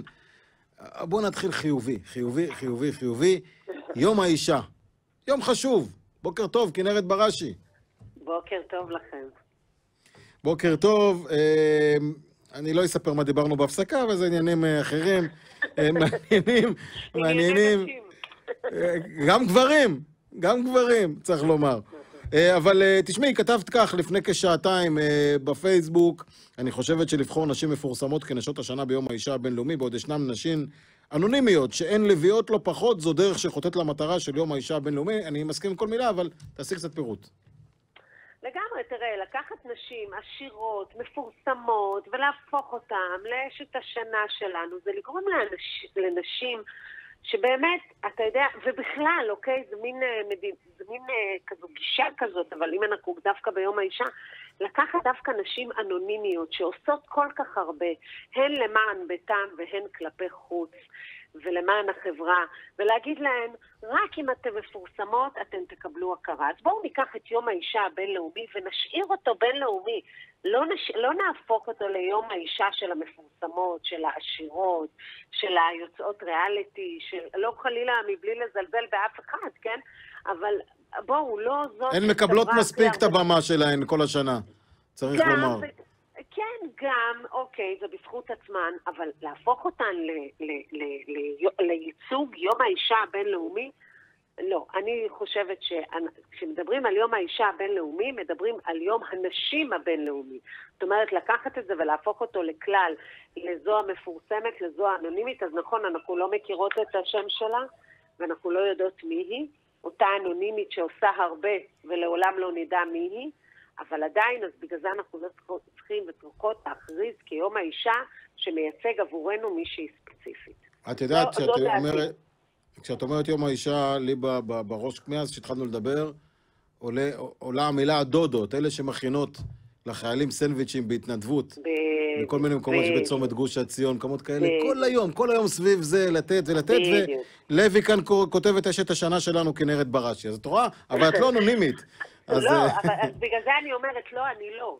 זו הסיבה. אז אני יכולה, אתם יכולים להזדהות עם מה שאני כותבת, ואני יכולה, אתה יודע, ואני יכולה לשמש את הקול שלכם, ותודה רבה על הזכות שניתנה לי. אבל אני לא אשת השנה, כי יש נשים שעושות כל כך הרבה דברים חשובים לא פחות, ואנחנו לא שומעים עליהם. אם אנחנו לא שומעים עליהם מטעמים כאלה ואחרים, או כי הן באמת עושות מתן בסתר, או מאלף ואחת סיבות, או שהן עברו חיים כל כך קשים והן הצליחו להגיע לפסגות אחרות והן לא רוצות לשתף בזה, או אתה יודע, יש קשת רחבה של נשים שעשו ובאמת פרצו את המחסום שלהן עצמן. ואנחנו לא מכירים אותם. אז לקחת את וונדר וומן, סתם אני נותנת את זה כדוגמה, אוקיי? שאני מאוד מאוד אוהבת אותה וחושבת שהיא מייצגת את ישראל נאמנה ואת עצמה ומוכשרת ויפה ומצליחה והכל, אבל להפוך אותה לאשת השנה ביום האישה הבינלאומי זה להגיד לנשים אחרות, כל עוד אתן לא פה, חמודות, אתן לא. אתן פשוט לא. ואי אפשר, זה לא, זה לא אמיתי, זה צבוע, כמו הרבה דברים שהם צבועים פה, אבל זה גם כן סוג של צביעות. נראה לי שאחד הדברים הכי צבועים ביום האישה זה שמעצימים נשים במרכאות על ידי זה שנותנים להם קרם גוף. זאת אומרת, אה, כן, פעם, פעם בשנה אומרים, כל הכבוד, נולדתם עם רחם, עכשיו אנחנו נפנק אתכם בקרם פנים. אני חושב שזה בדיוק החפצה של נשים שעושים את זה, ולצערי, במקום להראות דברים אחרים, זה מה שבוחרים אה, לייצג. אני שמעתי בדרך לאולפן, ברדיו, אה, כל מיני אה, דברי הלל לנשים שהיו נשמעים לי כמו החפצת נשים ולא האדרה של נשים. נכון, יש גם, ב... יש, יש גם בנושא הזה המון הקפצה של נשים. כמובן שברגע שמדובר באישה חזקה, חזקה, אתה יודע, מה זה חזקה בעיניי? אישה שסתם דוגמה, איזה פוליטיקאית עכשיו שתרים חולצה, אז כולם יריעו וכל הזה יגידו, וואו, איזה יופי, איזה גיבורה, איזה אומץ, אבל שדוגמנית תצטלם באיילון עם אה, ביקיני, אז יגידו, זו החפצה. אז באמת יש פה הרבה דיסוננס, יש פה הרבה דברים שהם לא מתיישבים אחד עם השני, ובאמת צריך לעשות סדר בכל הבלגן הזה. ולהגיד יום האישה הבינלאומי הוא יום הנשים באופן כללי. ואם אני רוצה להתחבר לתחום מסוים, לצורך העניין, אפשר לדבר על כל הנושא הזה של נשים שנרצחו במהלך השנה הזאת. זה לא תלוי, מגד... זה לא תלוי מגזר וזה לא שום דבר. וראינו באמת אישה אחת אמיצה כל כך, ואני חייבת להזכיר את שמה. וכזו דוגמה אני רוצה שנשים ייקחו. אני הייתי רוצה כל חיי שכנה כזאת, לא בגלל שבן זוגי הוא איש אלים, חס וחלילה, אה, ושיהיה, אבל אני אומרת, זה בגלל שנשים כאלה מוכיחות אנושיות. זאת אומרת, להיות השכנה שכבר זה באמת, לצערי הרב זה כבר כמעט לא קיים.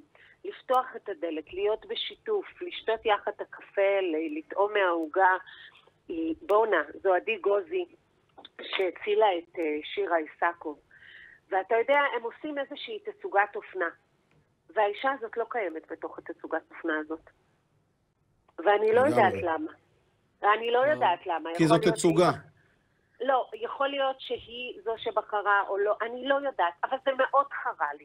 מאוד חרה לי שיושבות בתצוגה הזאת נשים שבאמת יש להן את הפלטפורמה ואת הבמה, ושתי נשות יש אה, אה, של גדעון סער, אם זה רעייתו של גדעון סער, ואם זו שאשא ביטון של גדעון סער, וזה נשים שיש להן במה והן מקבלות, ואחת יש לה תוכנית בטלוויזיה, והשנייה היא, היא, היא מלווה את גדעון מספר 2. אז יכול להיות שאנחנו רוצים להגיד שהן נשים חזקות זה בסדר, אבל זה לא המקום של יום האישה הבינלאומי. הוא להעצים גם את הלא מפורסמות, גם את לא האישה של, ולהעצים נשים כמו עדי גוזי. בדיוק נשים כאלה מקסים. אני רוצה במרחב, ואני רוצה נשים עם אומץ, נשים שאישה שהסתכלה לרוצח בלבן של העיניים, היא סיכנה את חייה, היא דחפה, היא חינכה את הילדים שלה, אנחנו רואים איזה חינוך הילדים שלה קיבלו. ילד קטן שלא הרפה מאימא שלו, אימא בואי עכשיו, בן כמה הוא? בן ארבע. זו עוצמה נשית. כן. זה יום אוהב את השיחה הזאת מאוד, אני חייב אה, לומר, אה, כנרת. אה, תרשילו, תרשו לי, אני אקריא פוסט שלך, בסדר? הוא, אני, אותו, אני אשתדל לעשות אותו זריז. כתבה ככה כנרת אתמול, העלתה בפייסבוק, ואצלנו הם יגידו לך, לך. לך למרות שאתה מצוין, לך למרות שהבאת את ישראל להישגים כלכליים, ביטחוניים ובינלאומיים חסרי תקדים, לך למרות שהצלחת להביא לישראל בניגוד לעולם חיסונים והרבה, לך כי יאיר רוצה להיות ראש ממשלה, לך כי התקשורת הפוליטית רוצה, לך כי השמאל לא מצליח להבין איפה הוא טעה ולא יודע לקחת אחריות, לך כי הם מפלגים ומשסים ומאשימים אותך, לך כי הם רוצים עוד אבתיסאמים בכנסת ישראל, לך כי הם רוצים לכתוב עוד ספר איך לצאת ממגפה לפני שהאפידמיולוגים בעלי שם עולמי הצליחו לפענח עד הסוף את הקורונה ואיך יוצאים ממנה, ולך כדי שלא תוכיח שבפרקליטות יש נגעים חולים ומושחת, מושחתים ומסוכנים, לך כדי שיהיה קל יותר לשנות את אופייה היהודי של המדינה, לך אחר כך נבכה כשתחזור. לגמרי.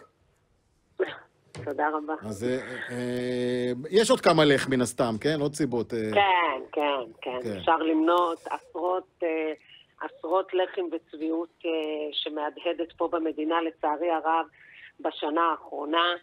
ואני בעד שכל, אה, שכל מי שמשסה ומפלג, וכל מי שלא יודע לקחת אחריות, תראה, הציוץ המדהים של אה, באמת חברת הכנסת זהבה גלאון אתמול היה לבוא ולהגיד לתקשורת, אני צריכה להזכיר לכם שאתם צריכים לתווך את המציאות ולא להביא את האג'נדה האישית שלכם. תקשיב, זו הייתה, אני לא רוצה להתבטא, אתה יודע, יש את המשפט הזה, מהמקפצה אתה מכיר את זה? זה היה ממש כן. מהמקפצה. האישה שהשתמשה כל כך הרבה בתקשורת כדי להנדס את התודעה ועדיין עושה את זה ויושבת בפאנלים ועושה את זה. היא באה לחנך את התקשורת הצבועה, אגב, והמגמתית והפוליטית, ולהגיד לה, בגלל שזה לא מתיישר עם הקו שלה, הקו האנטי, הקו של החרמות, הקו של השקרים, הקו של כל מה שהיא עושה, כל כך מפלג ומשסה, השנאת חרדים, כל האוטו-אנטישמיות הזאת, בגלל שזה לרגע לא שירת את האינטרסים שלה, מה היא אמרה? אני צריכה להזכיר לכם שאתם פה בשביל לתווך מציאות ולא להנדס אותה? וזה היה באמת שיא השיאים מבחינתי. אפרופו יום האישה הבינלאומי. כן. כן, כן, יש לנו זמן, כן, את יכולה גם להמשיך, דרך אגב, לא, אני אומרת, זה אפרופו. כן, אפרופו, יום האישה הבינלאומי.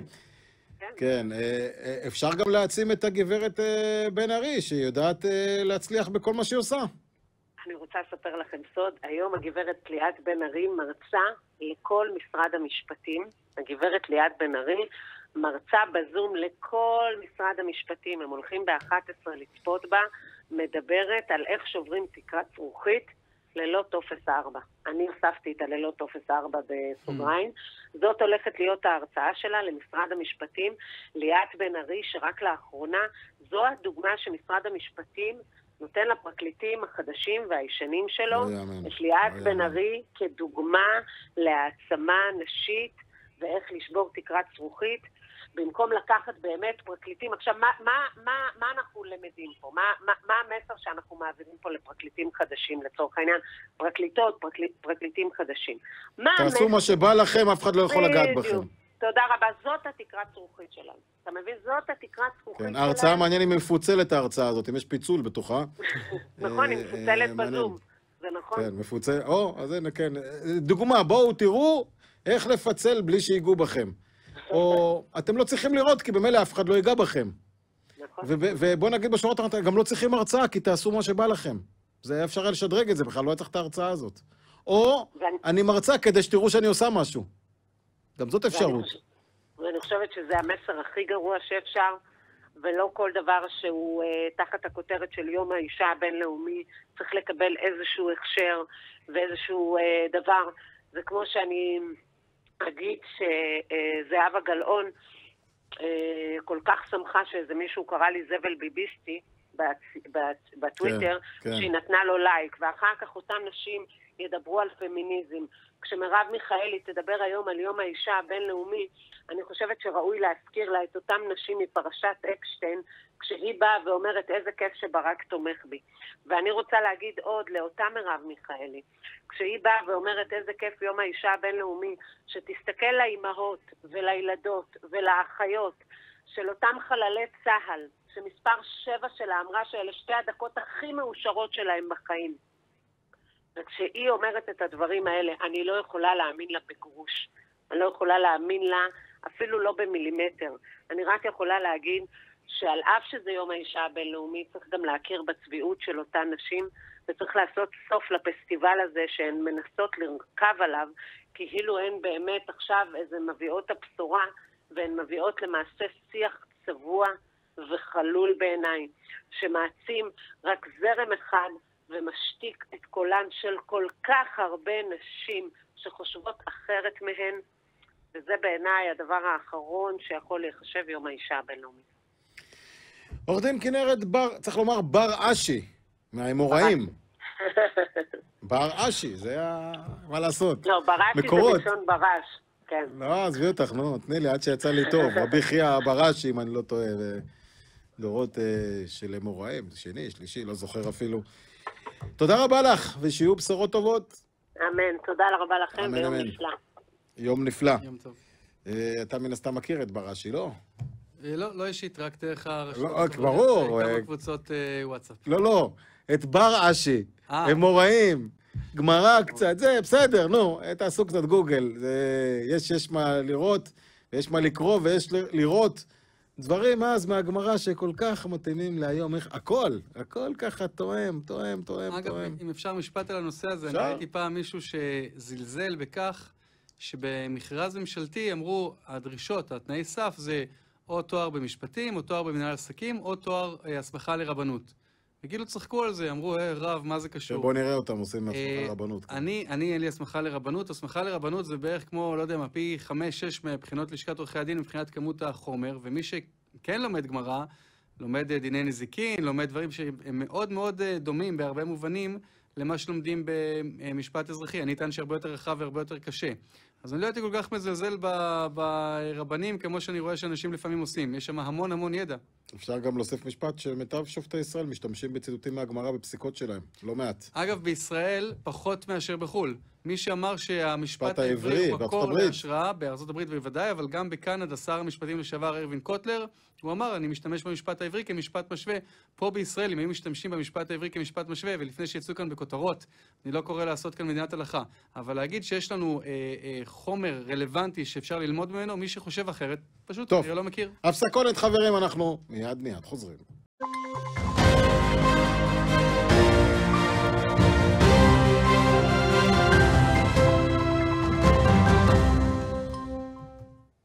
בוקר טוב ישראל, חזרנו סוף השעה הראשונה, השנייה שלנו כבר אה, אה, ממש ככה לקראת סיום. אני רוצה לשאול אותך, רן, נושא של גנץ, הסתדרות. אחלה, מעולה. אני רוצה לומר לך ככה, לגנץ יש הזדמנות באמת לקנות את עולמו בצורה מאוד מאוד פשוטה. כל מה שהוא צריך לעשות זה לחתום על הדבר הבא, שבכל האגודות העות'מאניות, שתהיה שקיפות. אני באמת מתקשה להבין, כל אחד עם הדעות הפוליטיות שלו, מותר לכל אחד להיות ימין כלכלי, שמאל כלכלי. מי נגד שקיפות? מה שקורה במדינת ישראל זה שהגופים הכי גדולים, הכי חזקים, מדובר על עשרות, אה, עשרת אלפים אה, אגודות בערך, אבל כמובן החזקות ביותר ביניהן זה ארגוני המורים, הסתדרות המורים, אה, ההסתדרות הכללית, הסתדרות הרופאים, כל אלה הם אגודות עות'מאניות. מה המשמעות של זה? זה אומר שזה גוף שקם לפני יותר מ-110 שנים ואין לו צורך בשקיפות. זה אומר שאותו בן אדם שהוא עובד בתור מורה, בתור לא משנה, בתור רופא, בתור כל דבר אחר, לא יודע כמה מקבל המנכ"ל. אין להם את הכללים שחלים על עמותות אחרות שצריכות לדווח על שקיפות. אנחנו, אני רוצה להדגיש כאן עוד דבר אחד, מדובר בגופים שיש להם הטבות מהמדינה, הם מקבלים הטבות מס. זה אומר שאם מישהו חושב שזה משפיע על אחרים ולא עליי, הוא טועה. כי יכול להיות למשל בכל עיר שתבחרו, חיפה, לא יודע מה, שיש איזשהו מבנה גדול ששייך להסתדרות, מסביב למבנה יש כל מיני חנויות, קניונים, אה, קניונים, סליחה, קיוסקים, חנויות של אה, ציוד אה, ספורט, לא משנה מה, אבל הם לא צריכים לשלם ארנונה, הם לא צריכים לשלם כל מיני מיסים אחרים, אז כמובן שהמחירים יכולים להיות יותר זולים. זה אומר שמי שמולם לא יכול להתחרות איתם. ומי משלם על כל זה? אנחנו, הציבור. יש היום כל כך הרבה בעיות כלכליות שנגרמות בגלל הדבר הזה, ושוב, כל ה fake news הזה שהם אלה שדואגים לחלש, זה לא נכון. בני גנץ, תחתום על זה שצריכים שקיפות. שקיפות, אין דבר שמחטא יותר מאור השמש. מה זה יחתום? עכשיו הוא הולך לחתום. חתימה, חתימה. וחתימתו של בני גנץ, אנחנו גם יודעים מה היא שווה, אבל בסדר. בועז, מי שמתנגד לשקיפות בעמותות העות'מאניות הוא מושחת. רן בר שבת, תודה רבה, תודה רבה לכם שצפיתם אה, בנו אחרינו. ארז צדוק, יום שני מני לא נמצא, זה ארז צדוק. מני מתכונן ללטמה, אתם יודעים, של רביעי, יש הרבה מה לראות. תמשיכו לצפות בנו, נהיה גם הערב עם האולפן הפתוח, ערוץ 20. מלא בחומרים, מלא בתוכניות, הכל בשבילכם, כל העם. ביי ביי והמשך יום שקט, חברים יקרים. ביי ביי. יום טוב.